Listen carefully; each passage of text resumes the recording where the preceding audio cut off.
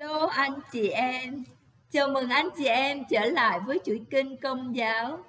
Mời anh chị em cùng nghe các ơn ích chuỗi thương xót mà Chúa Giêsu dạy thánh nữ Maria Faustina. Con hãy đọc không ngừng chuỗi kinh mà cha đã dạy con.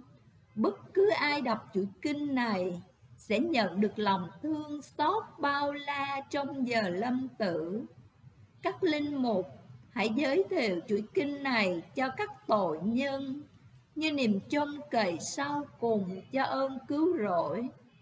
Mọi tội nhân, dù chai đá, cứng lòng đến mấy, nhưng nếu đọc chuỗi kinh này, dù chỉ một lần duy nhất mà thôi, cũng sẽ nhận được ơn thánh do lòng lân tốt vô cùng của cha nhờ chuỗi kinh con sẽ có được mọi sự nếu những điều con xin phù hợp với thánh ý cha.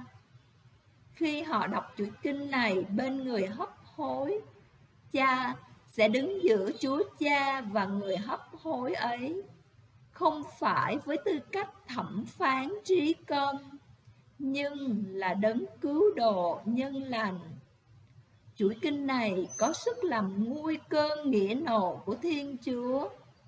Chúa sẽ ban những ân sủng rất lớn lao cho những ai đọc chuỗi kinh này.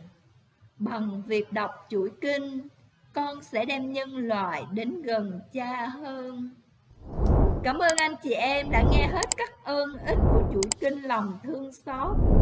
Anh chị em yêu thích lối sống khỏe, đẹp, bình an nhấn vào liên kết màu xanh trong phần bình luận để lại thông tin tham gia nhé.